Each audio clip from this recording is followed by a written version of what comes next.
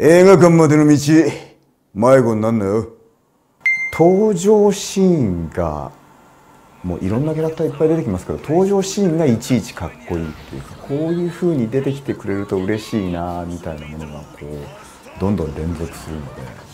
なんかいっぱい出てきて収集つかないではないちゃんとキャラクターのいいところっていうのを切り取って出してきてくれるまあ盛り上げ上手なお話だなっていうふうに思いましたね。はい、面白いな。面白いな。あ僕今回も出しましたけど大先生会一大三千大先生会。あれ何気に言いづらそうで実はや出して気持ちいいはさ。ものすごい前振りあるじゃないですか。本当は。ものすごく長いのがあるじゃないですか。あれも毎回フルで言いたいぐらいのだんだん自分の中で高まっていく感じとか力が入るべきところに入って抜けるべきところから抜けていく感じとかっていうのがすごくいいなって思って。嫌いなのはシシシソンソンです。シシシソンソンづらいって思いますけど、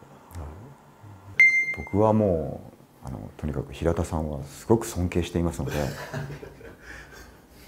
それを役柄上とはいえなんかこう罵り合うっていうのはもう本当に恐れ多いことだと思いながらいつも演じていますけれども。はい。平田さんは本当にすごくてゾロとサンジってまあかっこいい2人じゃないですか。でゾロの方がやや先に出てくるじゃないですか。お話上。後から来る人って本来大変だと思うんですけどそこを軽やかにお前とは違った方法でかっこよさを表現してやるよみたいなことをさらっと平田さんがやってくださるのを見てああ すごいなと。じゃあ僕は何してもいいなっていうふうに普通に思えるというか、うん、そこはすごいなと思いますね。名だたるというか化け物というか なんでこの人たち一堂に会してるんだみたいなスタジオなのでそう気持ちとしてはもう一人だけ俺だけ何の身も食ってないんですけどみたいな気分ですよね。だからなんかこうなんとか食らいついていかないとっていうふうに思ってますけど。アニメ20周年を迎えた「ワンピースの今だからこそできる。そして今しかできない。